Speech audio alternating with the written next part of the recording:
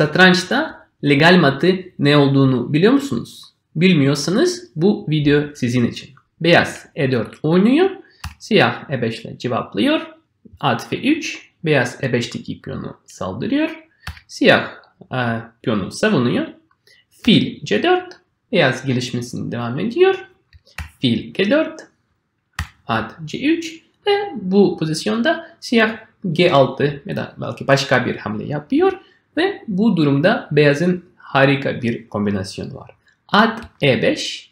Beyaz e, vezirini feda ediyor. Fil D1. Ondan sonra fil F7 şah. Siyahın şahı ne 7'ye gidebilir ne filini alabilir. Çünkü beyazın atı E5'te e, ikisi e, kareyi kontrol ediyor. Siyahın tek bir hamle şah E7.